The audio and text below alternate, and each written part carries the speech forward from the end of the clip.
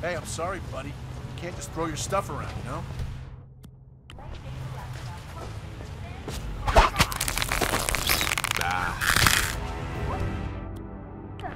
Oh my god. What did you do?